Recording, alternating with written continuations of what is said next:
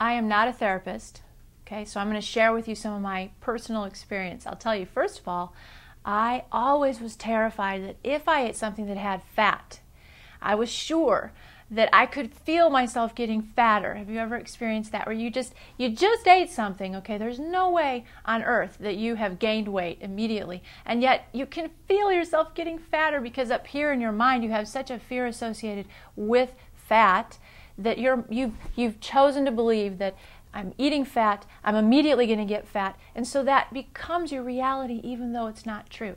Now here's something that's really weird. A person who eats a thousand calories in fat and a person who eats a thousand calories in carbs, which one will gain more weight? Neither. They're both eating a thousand calories. The issue with the fat is that fat has more calories than the other foods, and so in our minds, we know that if we eat a lot of fatty foods, we're eating too much. But the truth is that fat, eating fat, won't make you fat unless you're eating tons of it. Now, let me talk about another thing.